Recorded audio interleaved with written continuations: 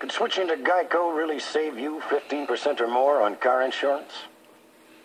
Did Leland accidentally destroy the pizza? Hey, No, I got dinner. Little Caesars!